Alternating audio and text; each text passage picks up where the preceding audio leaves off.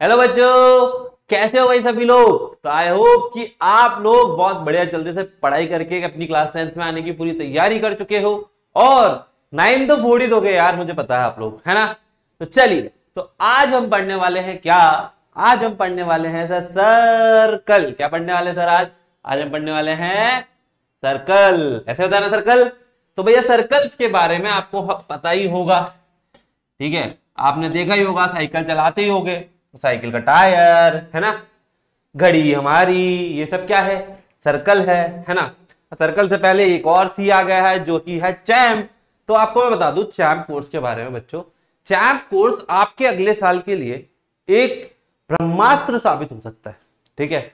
उसमें से आप खुद देख सकते हो क्या तगड़े तगड़े रिज़ल्ट आए यार क्लास टेंथ में। और अभी देखो टेंथ में, बच्चे फोड़ कर आ रहे हैं, जो क्वेश्चन आ रहा है वो वहीं से आ रहा है जो मैम ने और सर ने पढ़ाया है, ठीक है? तो चलिए वो कर लेते हैं बात बाद में।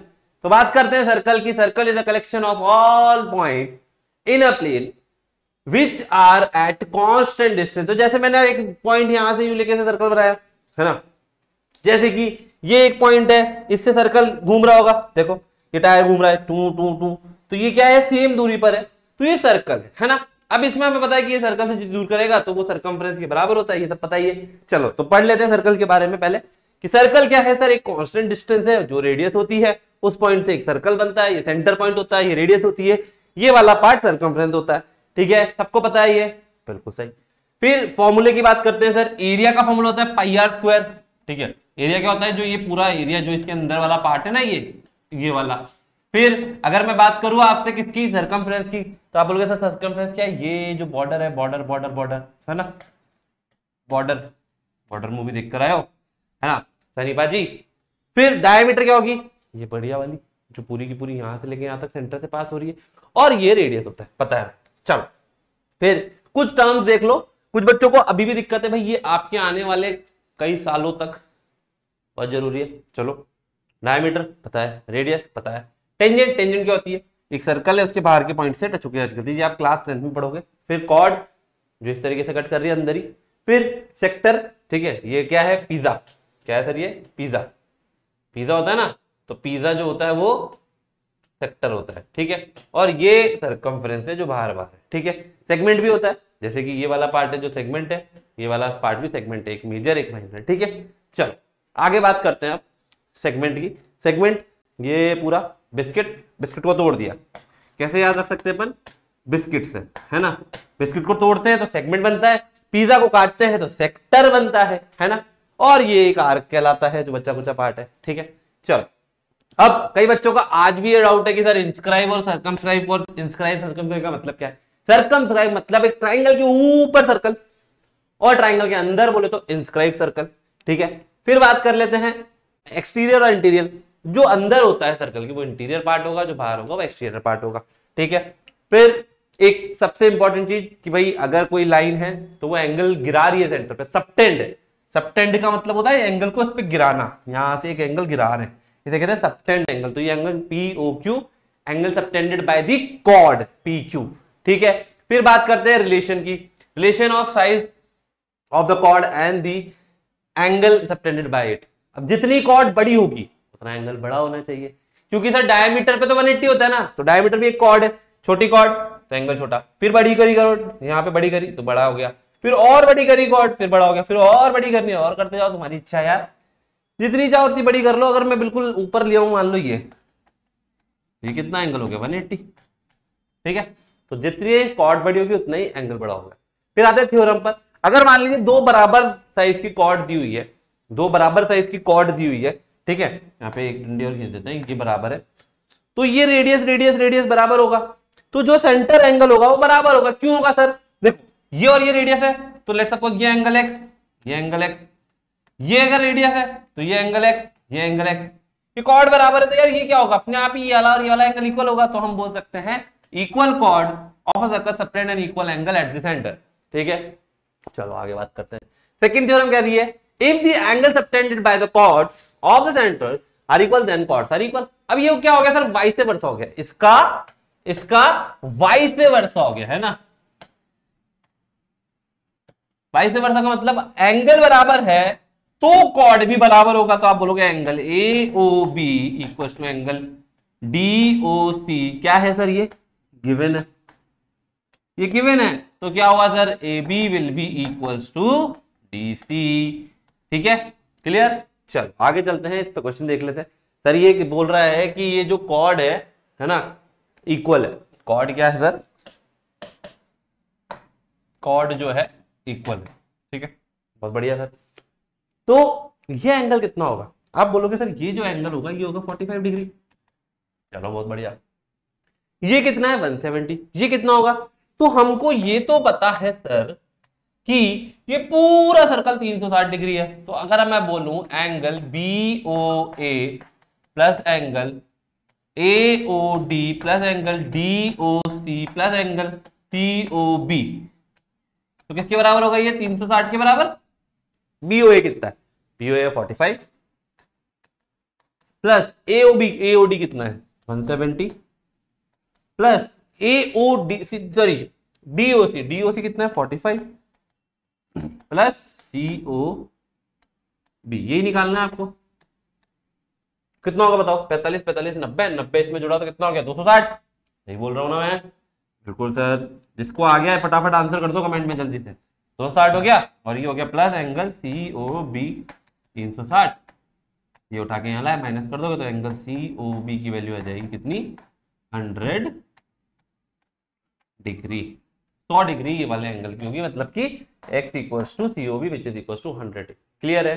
चल, आगे चलता है perpendicular from the centre of the chord अब भैया, ये कॉर्ड है। क्या है सर ये ए बी कॉर्ड है। मैं लिख भी देता हूँ मैं। ए बी इज़ कॉर्ड देखो, ध्यान से सुनना, देखो, फिर मत बोलना, सर बताया नहीं हो। A B is a chord O M जो है, वो सेंटर से लाइन है। कहा है, सर? ओ से लाइन है। एम मतलब ओ एम सेंटर से लाइन है। सेंटर क्या है? ओ तो ये जो लाइन होगी भैया ई आपके कॉर्ड को दो इक्वल पार्ट में कट करेगी और एंगल 90 डिग्री होगा। ठीक है? नोट कर लो ये। ये भाई बहुत ज़रूरी है। इंपॉर्टेंट पार्ट है ये। ये ना? पूरे ज़िंदगी भर काम आएगा ये। कॉर्ड ये सेंटर से लाइन है तो ये परपेंडिकुलर में। ठीक है? और इक्वल पार्ट में डिस्ट्रीब्यूट करेगा। ठीक है? तो थ्योरम कहती है perpendicular from the centre of the circle chord bisect the chord sorry sorry circle to chord bisect the chord सही तो बोल रहा है। कि जो लाइन यहाँ से इस पर जा रही है कॉर्ड पर ये इस कॉर्ड को बराबर पार्ट में बांट करेगी तो मतलब A M is equal to B M due to OM perpendicularly perpendicular to A B clear है? नको नको चलो भैया the straight line drawn from the centre straight line drawn from the centre to the circle a chord to a circle a chord is perpendicular to the chord ये line जो बना रहे हैं सेंटर की तरफ़, यहाँ से, कहाँ से इस कॉर्ड से सेंटर की तरफ़, वो परपेंडिकुलर होगा। तो ये वाइस वर्षा ही तो है सर। है ना? वाइस वर्षा का मतलब पता है ना? मतलब उसका उल्टा। ठीक है? चल। तो क्वेश्चन तैयार करते हैं यार। ये क्वेश्चन का कह रहा है? ये कह रहा कॉर्ड है तीस सेंटीमीटर कितने सेंटीमीटर की है सर ये? तीस सेंटीमीटर की। ठीक है? फिर रेडियस है सत्रह सेंटीमीटर लिखा हुआ है। Find the distance from the centre of the circle ये निकालना आपको ये ओ एल ठीक है? क्या निकालना सर ओ एल निकालना है। अब एक बात बताओ मुझे पहले तो आप लोग कि सर ये दो टुकड़ों में बांट करेगा ना, ये आधा ये आधा तो ये तो पंद्रह हो गया, ये भी पंद्रह हो जाएगा। होगा कि नहीं होगा? ये पंद्रह पंद्रह कर लिया आपने तो आप बोलोगे sir in triangle A O L A O L A O square is equal to O L square plus A L का स्क्वायर ए ओ कितना है? One, seven, zero. ठीक है? ए ओ पता है हमें, उसके बाद ए एल पता है हमें? ओ एल नहीं पता सर हमको। पंद्रह का स्क्वायर ठीक है? क्लियर है? तो सत्रह का स्क्वायर कितना होगा भाई? आप बोलोगे, सर, सत्रह का स्क्वायर होगा two eighty nine is equal to O L पता ही नहीं है, सर। प्लस दो सौ पच्चीस इस भैया को उठा के लाओगे तो ये हो जाएगा चौसठ। ओ एल का स्क्वायर तो ओ एल हो जाएगा अंडर रूट चौसठ which is equal to plus minus का एट तो माइनस तो कट गया। तो आप बोलोगे, सर ओ एल की वैल्यू आ गई प्लस का एट सेंटीमीटर सेंटीमीटर में दिया हुआ है सेंटीमीटर में मार्क करना है। ठीक है? चलो नेक्स्ट क्वेश्चन अगला क्वेश्चन है, ये फिगर है है ना? इस फिगर के अंदर कहा है, सर, कि रेडियस है पंद्रह। कोई बात नहीं, ये पंद्रह ये पंद्रह। ठीक है? ओपी और ओक्यू जो है परपेंडिकुलर है, बहुत बढ़िया। A B is parallel to C D ये पैरल दिया हुआ है, बहुत ही अच्छी बात है। ए बी की वैल्यू दी है कितनी? ए बी की वैल्यू दी है अट्ठारह और इसकी दी है बाईस। ठीक है। Find P Q find P Q ये दोनों निकालना है। तो इसको निकालने के लिए क्या कर सकते हैं? देखो, जैसे मान लो मैंने ये निकाल लिया, है ना? और उसमें से ये माइनस कर दिया। निकाल लोगे? बहुत ही बढ़िया। चलो, करते हैं ट्राई पहले क्या करोगे सर? ओपी निकालते हैं। कौन सा ट्राइंगल लूँगा मैं? In triangle AOP angle AOP angle A plus angle O plus angle P equal अरे, क्या लिख रहे हैं अपन? पाइथागोरस थोड़ी लगाना, पाइथागोरस लगाना, भाई एंगल से प्रॉपर्टी थोड़ी लगानी। हाँ तुम बता भी नहीं रहे हो यार, गड़बड़ कर रहे हो। तो ए ओ का स्क्वायर है ना? ए ओ का square is equal to AP square AP कितना होगा सर ये अट्ठारह से अट्ठारह का था नौ प्लस ये ओपी नहीं पता अपन को। ठीक है? ए ओ कितना था? पंद्रह। तो ये हो गया पंद्रह का स्क्वायर मतलब दो सौ पच्चीस और ये हो जाएगा माइनस का एटी वन ठीक है? इज़ इक्वल टू ओपी का स्क्वायर कितना हो गया सर ये? ये आपके पास बचेगा सर यहाँ पे। ये हो जाएगा चार, है ना? और ये आठ गया तो कितना बचा बेटा? ये हो गया sir one hundred and forty four ठीक है? ओपी स्क्वायर तो इसकी वैल्यू कितनी आ गई ओपी की? ओपी ओवर पावर्ड नहीं है भाई। ट्वेल्व सेंटीमीटर ठीक है, अब लेते हैं in triangle O C Q O C Q है ना? या सी ओ क्यू ले लो यार C O Q angle angle क्यों लिख रहे हैं बार बार अपन? O C square is equals to O Q square plus C Q square है ना?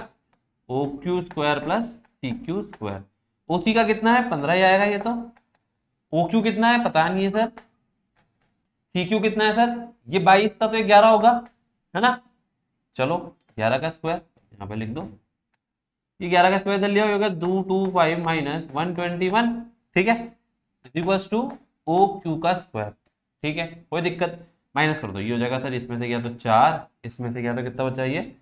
दो गया तो ज़ीरो, और ये क्या है? वन ठीक है? सही क्या है? कोई दिक्कत नहीं है? One zero four O Q square O Q square तो इसको उठा के लाओगे तो under root one zero four हो जाएगा आपका ओ क्यू ठीक है? ओ क्यू तो अब आप इसमें से माइनस कर दो। माइनस करके बता दो फटाफट क्या आंसर आएगा। ओक्यू कितना हो जाएगा सर ओक्यू आपका हो जाएगा 10.2 के आसपास। अप्रोक्सीमेटली ले लो। 10.2 के आसपास हो जाएगा, है ना? और इसमें से माइनस कर दो। तो फटाफट से मुझे आप लोग जवाब दोगे ओ पी क्यू पी कितना होगा। ठीक है? क्यू पी फटाफट अब माइनस करके आंसर निकाल दो। जल्दी, चलो, ठीक है? चलो next part circle passes through the three point अब देखो पॉइंट मतलब क्या होता है? टू पॉइंट्स किस काम आता है लाइन बनाने की। मान लो, एक पॉइंट ये है पॉइंट ये लाइन बनेगी इससे, है ना? लाइन बन जाएगी। फिर मैंने बोला there are only and only one line pass through two point तो इससे एक ही लाइन पास करेगी। ऑब्वियसली सर देखो ना, कहीं और पास हो ही नहीं पाएगी हाँ? ठीक फिर बात करते हैं सर्कल के लिए थ्री पॉइंट्स वाली। पहले हमने बोला एक पॉइंट एक पॉइंट से कितने सर्कल पास होंगे? जल्दी बताओ.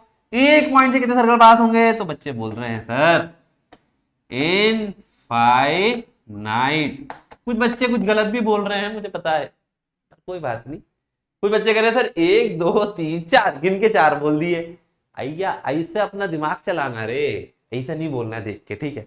फिर फिर मैंने कहा, दो पॉइंट से तो अभी बच्चे बोल रहे सर, एक, दो, तीन, चार. अरे, ऐसा क्या कर रहा है? एक, दो, तीन। ऐसे नहीं करते, तीन नहीं है, गलत बोल रहे इस पर भी आप कहेंगे, सर इनफाइनाइट ठीक है? अब मैंने कहा, सर, तीन पॉइंट पे। अब बोलोगे सर, तीन पॉइंट से एक ही हो रहे हैं हमको तो दिखाई एक ही दे रहा है। बताओ बताओ बताओ, सोचो सोचो, जल्दी बताओ। सर, एक ही दिख रहा है। और कोई बना सकता हूँ क्या मैं? अगर मैं इन तीनों पॉइंट को लेके सर्कल बनाऊँ? सर्कल थोड़ी है तो कुछ और बन गया। तो हम बोलेंगे, sir only only one circle can be drawn only one circle can be drawn ठीक है? चलिए, आगे बात कर लेते हैं। अगर मान लीजिए ये कॉर्ड पैरेलल है, ये कॉर्ड इनसे पैरेलल है, और तो ये दूरी दूरी बराबर है तो डिस्टेंस बराबर है तो भाई परपेंडिकुलर भी है, ये भी इक्वल ये भी इक्वल सब बराबर होते हैं। पढ़ा हुआ हमने। अगर मान लो मैंने कहा इस पॉइंट से इस पॉइंट की दूरी बराबर है इससे तो ये कॉर्ड भी बराबर होंगे। वही सेम चीज़ हो गई।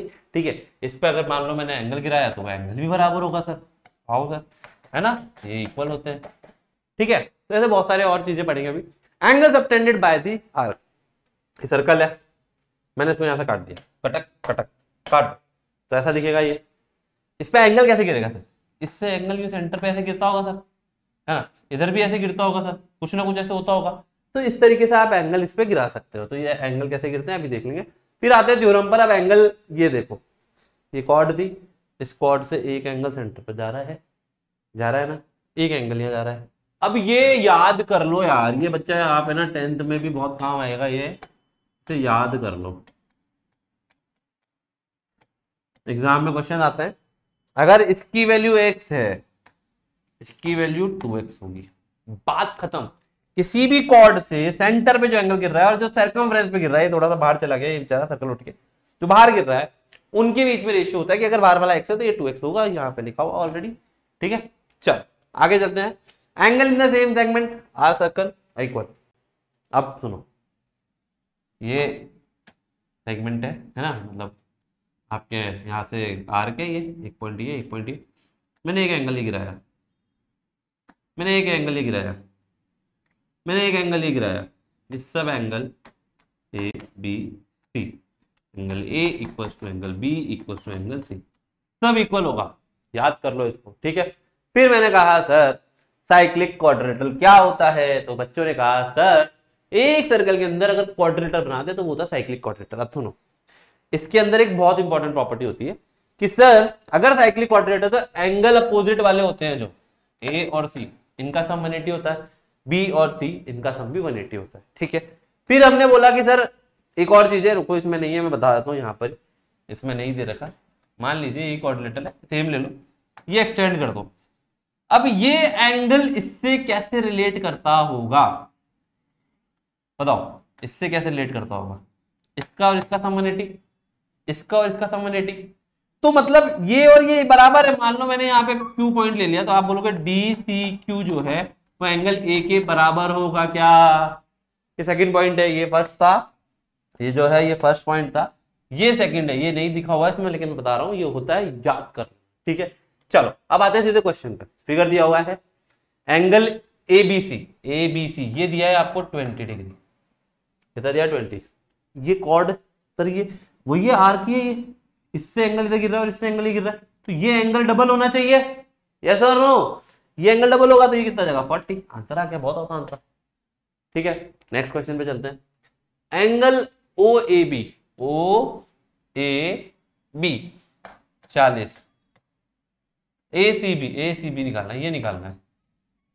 तो पहले तो आप बोलोगे, सर, ये और ये बराबर है तो ये भी होगा चालीस। है ना? Angle O A B equal to angle O B A to forty क्यों O A to O B equal to radius तो आइसोसेलेस ट्रायंगल है तो एंगल इक्वल होगा। तो एंगल ए ओ बी कितना होगा भाई? 40 प्लस 40 180 में से घटा दो। आप बोलोगे, सर 180 माइनस एट्टी तो ये आ गया 100 डिग्री ये 100 है तो ये कितना होगा? वो x तो ये 2x तो वो x बाय टू तो आप बोलोगे angle A C B equal to half of angle O A O B तो आप बोलोगे half of A O B बोले तो angle A C B is equal to पचास डिग्री जो कि आंसर है ए क्लियर है? आसान क्वेश्चन है। चलो, आगे चलते हैं अगले क्वेश्चन पे। Quadrilateral ABCD inscribe the circle such that A B is the diameter चलो सर डायग्राम बना एक सर्कल है। एक क्वाड्रिलेटरल बन रहा है। सर्कल के अंदर ही A B C D A B diameter है। D A D C A A D C A D C ये एंगल दिया है कितना? 130 डिग्री ठीक है? बी ए सी निकालना है। B A C oh my God ये क्या करा है इन्होंने? बी ए सी ये वाला एंगल निकालना लॉजिक समझ रहे हो? क्या हो रहा है? समझना। ये एंगल अब बहुत ध्यान से समझना, ये एंगल 130 तो ये एंगल कितना होगा? आप बोलोगे angle D plus angle B is equal to one होना चाहिए। तो एंगल डी 130 है plus angle B is equal to one इसको उठा के यहाँ लाएँगे तो ये हो जाएगा angle B is equal to fifty degree sir ये एंगल पचास आ गया। अब बताओ, सर ये क्या है? डायमीटर डायमीटर से कोई भी एंगल होगा तो 90 डिग्री होगा। तो आप बोलोगे angle A C B is equals to कितना है? 90 डिग्री, है ना? ये 50 डिग्री। तो एंगल बी ए सी कितना होगा? आप बोलोगे 180 eighty minus fifty plus ninety तो आप बोलोगे, सर यह जगह कितना? 90 गया तो इधर ये और ये गया तो 40 तो आ जाए 40 डिग्री। तो सर, ये एंगल आ गया 40 डिग्री। ठीक है? क्लियर है? इंपॉर्टेंट क्वेश्चन है यार, याद कर लो, इसको समझ लो। बहुत अच्छा क्वेश्चन चलिए। A O B sorry O A B O A B ये वाला एंगल है तीस। ओ C B O C B ये वाला एंगल है फिफ्टी सेवन क्या बोला है? बी ओ सी बी ओ सी ये निकाल ये रेडियस ये रेडियस ये रेडियस सब रेडियस है। ये थर्टी तो ये कितना होगा? थर्टी, है ना? ये थर्टी, ये फोर्टी, फिफ्टी सेवन तो ये पूरा कितना होगा? Fifty seven. Fifty seven fifty seven, इधर वाला निकाल सकते हो। क्यों? निकालना क्या है? अच्छा दोनों निकालने हैं। पी ओ सी पहले बी ओ सी निकालते हैं। बी ओ सी कितना होगा, सर? ये फिफ्टी सेवन, ये फिफ्टी सेवन तो ये निकाल लोगे? कितना होगा? ये हो जाएगा one eighty minus fifty seven plus fifty seven. कितना हो जाएगा बेटा ये? चौदह चौदह। एक सौ चौदह। One one four. Minus one eighty. कितना आ गया बेटा? आप बोलोगे सर ये सिक्सटी सिक्स आ गया। तो बी ओ सी तो हो गया सिक्सटी सिक्स। ए ओ सी देखो। ए ओ सी ये थर्टी ये थर्टी तो ये ए ओ सी ये वाला है पूरा वाला है ना? तो ए ओ सी हो जाएगा one eighty minus thirty plus thirty है ना? एंगल से प्रॉपर्टी लगा दोगे ना तो ये हो जाएगा सर थर्टी थर्टी से वन ट्वेंटी। ये दोनों एंगल निकल गए। आई होप क्लियर है। चल। सर, ये बहुत प्यारा क्वेश्चन है। भैया, ये बहुत प्यारा क्वेश्चन है। बहुत प्यारा क्वेश्चन है। ध्यान से देखो यार, अब समझना इस क्वेश्चन को। ये कॉम्प्लिकेशन बढ़ा देगा ये क्वेश्चन आपकी लाइफ के। ठीक है? क्वेश्चन दिया है। ए बी एक डायमीटर है। पता है, सबको दिखाई दे रहा है है ना? फिर this we called the centre O और ए सी डी पर पैरल है। ये पैरल दिया हुआ है। अब ये बीस रही है। बीओसी कितना होगा देखो। ये एक कॉर्ड है। मतलब ये एक टेंजेंट है। मतलब टेंजेंट नहीं सॉरी गलत बोल गया मैं। सॉरी सॉरी सॉरी ये एक कॉर्ड है है ना? ये आर्क हो गया। इससे एंगल इधर गिर रहा है बीस तो ये एंगल कितना होगा? डबल हो जाएगा। डबल हो जाएगा। यस और नो डबल हो जाएगा बच्चों। आई होप बिल्कुल क्लियर है ये, है ना? ये आपका डबल हो गया। तो आप बोलोगे बीओसी कितना हो गया सर सर बीओसी हो गया हमारा। फोर्टी डिग्री अगला question DOC D O C wow अब समझना। हमने अभी अभी निकाला बीओसी बीओसी फोर्टी है ना? अब समझना। ये फोर्टी है ना? ये ट्वेंटी अब अगर मैं इस वाले कॉर्ड को लूँ, इस वाले कॉर्ड को लूँ, इस वाले कॉर्ड को लूँ तो ये वाला एंगल और ये वाला एंगल वैसे कुछ नहीं लग रहा है। है ना? अब समझना आगे। अपन को निकालना डीओसी डीओसी निकालने का तरीका क्या? पहले ये फोर्टी हो गया। डी ओ सी है ना? ये कितना होगा बेटा? फोर्टी होगा ये भी। यस और नो फोर्टी होगा ये भी। क्योंकि देखो, इसी के हिसाब से एंगल गिर रहा है ना ये। इसी के हिसाब से इस तरह एंगल गिर रहा है। और समझना, और भी तरीके बताता हूँ। चलो, इसको छोड़ दो अभी। ये तो फोर्टी हो ही गया, है ना? समझो ये पैरल है, ये ट्वेंटी है ना? अब इस कॉर्ड को देखो। ये उधर गिरा रहा है। इस वाले कॉर्ड को देखो, सिर्फ़ इस वाली इस वाली ये कॉर्ड को देखो, ये इस पे एंगल गिरा रहा है, ये उस पे एंगल गिरा रहा है। ये ट्वेंटी तो ये फोर्टी अपने आप हो गया। ये फोर्टी तो ये कितना हो जाएगा बच्चों? डीओसी पूछो। फोर्टी प्लस फोर्टी ये हो जाएगा हंड्रेड होगा कि नहीं? तो आप बोलोगे, सर, ये हो गया मेरा हंड्रेड डिग्री ठीक है नेक्स्ट पे चलता डीएसी अब देखो, अपन जो निकाल लिया, वो लिख लो। ये हंड्रेड फोर्टी फोर्टी अब क्या बोला है ना? DAC D A C D A C ये वाला सर। ये वाला, ये कैसे निकालना सर? देखो, समझ लो। ये निकल गया फोर्टी, ये निकल गया ट्वेंटी, है ना? अब आपके पास एक तरीका है कि इसको निकालना है ना? तो आप कह सकते हो, इस वाले कॉर्ड से एंगल गिर रहा है ये, और इस वाले कॉर्ड से एंगल गिर रहा है ये। देखो, बड़े वाले कॉर्ड से सी डी कॉर्ड। कौन सा कॉर्ड? सी डी से। सी डी से देखना, ध्यान से समझना बेटा। बस देखना है आपको सी डी कॉर्ड से सेंटर पे एंगल गिर रहा है सी डी कॉर्ड से इस पे एंगल गिर रहा है। तो ये इसका आधा होगा तो ये कितना हो गया? पचास डिग्री। सर, ये तो बन गया। बहुत आसान है। सर, ये कॉर्ड का खेल है, बस आपको गुमराह करने के लिए कुछ चीज़ें दी है तो इसके बाद गुमराह ना। होना ठीक है? तो हो गया, समझ में आ गया? चलो ए डी सी निकाल भैया। ए ए डी सी ये वाला निकालना है, सर ये वाला। ये वाला निकालना है? तो अभी पिछले क्वेश्चन में आपने ये निकाला पचास? और ये तो ट्वेंटी है ही सही पहले से। पचास, ट्वेंटी, सत्तर तो ये कितना हो गया? एक सौ दस। तो बोलोगे, सर, ये कितना हो गया? एक सौ दस। अरे, सर, ये तो बहुत ही हलवा क्वेश्चन था। बस क्वेश्चन समझना था, बाकी तो ये बहुत आसान था। आई होप क्लियर है सबको। ठीक है? चलिए तो ये आप लोगों के माइंड में जो बच्चे ईसएल में पढ़ रहे हैं, उनको तो पता ही है। जो नहीं है, वो भैया ये डाउनलोड कर लो स्क्रीनशॉट ले लो। आपके एग्ज़ाम के लिए बहुत ज़रूरी है। बहुत काम आएँगे, सारी चीज़ें यहाँ दी हुई है। ठीक है? तो it is very important to you सारी थ्योरम्स वगैरह सब दिया हुआ है इसके अंदर, ठीक है? तो ये आपके पॉइंट ऑफ़ व्यू से बहुत इंपॉर्टेंट है, ठीक है? तो मेरी तरफ़ से बस आज के लिए इतना ही था। तो आई होप कि you have enjoyed the class जो क्वेश्चन कराए हैं वो काफ़ी इंपॉर्टेंट है, उन्हें कर लीजिएगा। और N C R T exemplar ज़रूर ट्राई करना यार, वो बहुत ज़रूरी है, ठीक है? चलिए ऑल द बेस्ट मिलते हैं नेक्स्ट क्लास में. Bye bye